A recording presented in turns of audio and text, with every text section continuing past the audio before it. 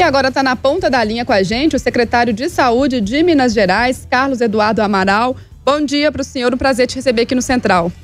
Bom dia, Carol. Obrigado pela oportunidade. A gente que agradece. Primeiro, eu queria pedir um panorama né, de Minas Gerais, como é que a gente está aí na atual fase de enfrentamento ao coronavírus.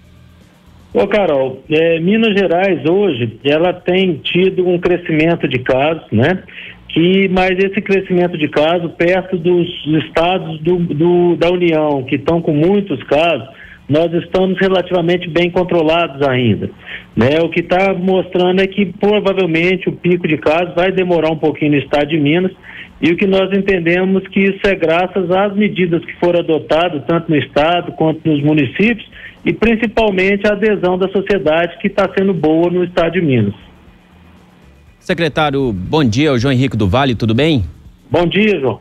Joia. É, secretário, é, ontem o Ministério da Saúde definiu alguns critérios de distanciamento social. E eu queria saber como é que Minas é, se encaixa nisso, vai continuar o isolamento é, do, da forma que está aqui ou algum, alguns municípios podem é, mudar esse critério é, a partir de hoje? Ô, João Henrique, o que o Ministério ontem editou, né, foi uma orientação de uma forma geral e essa orientação ela tem que ser tratada tecnicamente dentro da secretaria, no nosso Comitê de Operações de Emergência de Saúde, que é o COI, para que realmente nós tenhamos segurança de orientar os municípios no caminho que eles devem ir. Nós entendemos que há sim uma possibilidade mais para frente de liberar é, mas nesse momento a nossa orientação, pelo menos até o final da Semana Santa, é que se mantenha o isolamento, porque nós temos uma curva que é uma curva que está apontando ainda para um crescimento importante do, dos casos de Covid, ou seja, realmente não, não nos parece que hoje nós possamos liberar, não. Mas eu já passei para o nosso COI para que nós é, continuemos essa investigação e essa avaliação no sentido de orientar de uma forma melhor a sociedade. Secretário Paulo Leite, prazer mais uma vez falar com o senhor. Ô Paulo, tudo bem? Tudo bem. Secretário, eu estava ontem lendo as medidas que foram, o boletim, né, que é um boletim de sugestões enviados pelo Ministério da Saúde, me chamou a atenção num dos itens a questão dos 50% de ocupação do sistema de saúde de cada município, de cada cidade. Nós temos o controle disso, a Secretaria de Saúde tem um controle efetivo de que cada município tem a sua capacidade X ocupada? Dá para a gente trabalhar com essa realidade? Ô Paulo, é, Minas Gerais, ela historicamente trabalha por divisão do estado, nós chamamos de macro-regiões e micro-regiões, né? Nós temos 14 macro-regiões e 89 micro-regiões, são grupos de municípios. Então não dá para a gente pensar de uma forma que, ah, não, um município tem a capacidade isolada. Porque Belo Horizonte, por exemplo, é um município grande que dá para fazer é, esse tipo de métrica. Mas em Minas Gerais nós temos muitos municípios que têm abaixo de 10 mil habitantes. Então, nesse contexto, nós temos que trabalhar com uma ideia de micro-região, pelo menos, e aí sim a, a Secretaria de Saúde ela ter condição de fazer essas contas e poder definir. O que nós habitualmente temos é um acompanhamento, esse acompanhamento é diário de ocupação de leitos, tanto leitos de terapia intensiva quanto leitos de internação clínica. E é essa ideia que para nós hoje, ou seja, esse dado para nós é o dado mais importante do ponto de vista de acompanhamento da epidemia do corona. Secretário, a gente tem visto aqui né, em Belo Horizonte, por exemplo, a construção aí de hospitais de campanha, né, para dar suporte mesmo a esse sistema de saúde. Como é que está isso de maneira geral aí em Minas Gerais como um todo? O senhor falou bem, a gente tem muitos municípios, né? Outros municípios, outras regiões também estão se preparando dessa forma aí para enfrentar esse pico no, nos casos de coronavírus? É, é, essa pergunta sua é muito interessante, porque nós, justamente nós temos diferenças entre a região metropolitana e o restante do estado. Quando nós falamos em hospitais de campanha, nós entendemos de uma forma geral que os hospitais eles são feitos esses de campanha para um atendimento de pacientes com menor complexidade. Haja visto que quando se tem um hospital com toda a estrutura hospitalar, aí nós entendemos desde circulação de gases, a lavanderia, cozinha, né? Então, assim, a preferência que foi a técnica que nós adotamos no estado foi ampliar os leitos de CTI para os hospitais já existentes e tentarmos leitos clínicos ou através de hospital de campanha ou de uma forma geral. Para você ter ideia, hoje, os hospitais de pequeno porte do estado, eles têm mais de 7 mil leitos disponíveis e desses 7 mil leitos, 5.700 estão ociosos. Então, de uma forma geral, quando nós pensamos no estado como um todo, hoje nós temos 5.700 leitos para serem utilizados no tratamento clínico de pacientes com Covid. Então, isso na grande maioria dos municípios e das micro-regiões não se, se justificaria ter hospital de campanha, porque nós já temos 5.700 leitos recrutáveis. Secretário, até nessa estruturação que o Estado está fazendo, é, tá na, na procura né, de respiradores para fazer a manutenção e parece que hoje chegaram alguns respiradores em, em Belo Horizonte. É, fala um pouquinho para a gente sobre isso.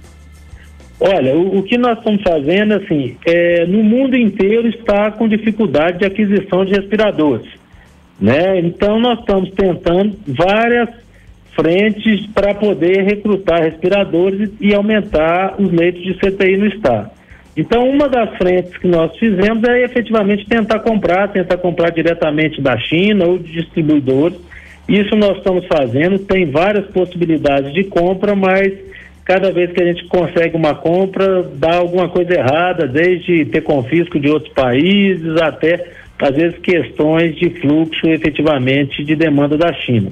É, por outro lado, nós temos também um grupo grande de respiradores parados no estado, respiradores que ficaram é, é parados ou por causa de problemas técnicos ou às vezes até um pouco obsoleto mesmo.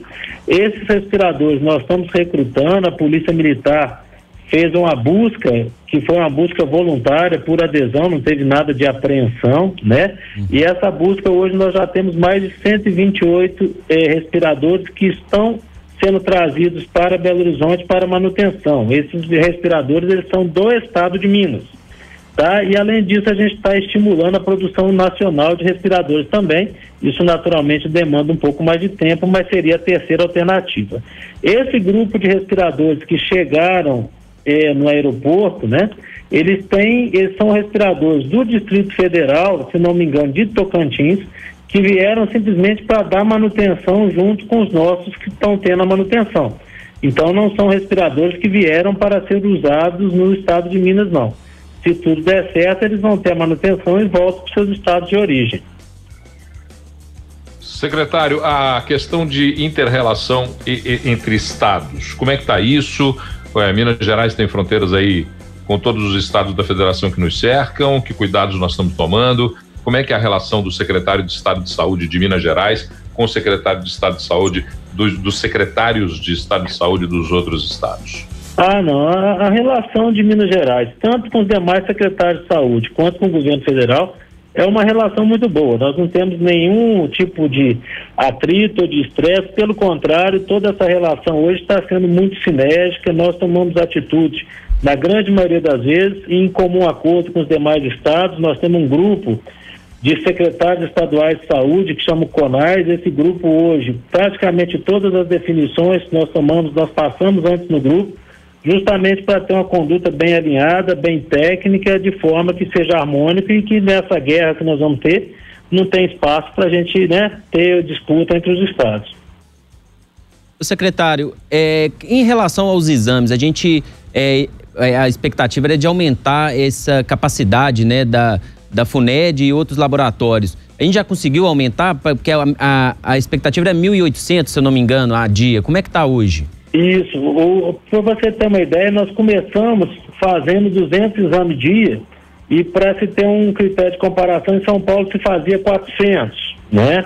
Então, hoje, nós na FUNED já estamos fazendo 500 exames, nós temos o início da operação do laboratório da UFMG e da Universidade do Vale de Jequitinhonha e Mucuri. Hoje, a ideia é que nós consigamos, com cada laboratório desse, mais 200 exames dia, então é, nesse momento nós estamos espelhando 900 exames e com os demais laboratórios que entrarão em operação nos próximos 10 dias no máximo, a nossa ideia é fazer 1.900 exames dia. 1.900 exames dia dentro do que nós temos de estoque na FUNED de exames, nós teríamos muita tranquilidade para poder consumir esse estoque todo. Tá aí, secretário de Saúde de Minas Gerais, Carlos Eduardo Amaral, conversando com o Central 98. Muito obrigada por esse tempinho, por esclarecer nossas dúvidas aqui no Central, secretário.